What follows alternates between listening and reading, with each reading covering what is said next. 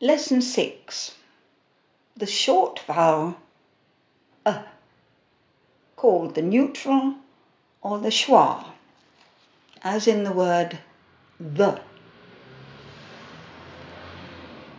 The jaw is half open, the lips are relaxed, and the middle of the tongue comes up just a little in the mouth.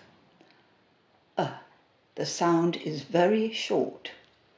Uh, Uh, the, the, asleep, asleep, appear, appear, Linda. Linda. It's the shortest vowel in English, isn't it? It is, yes, the shortest vowel.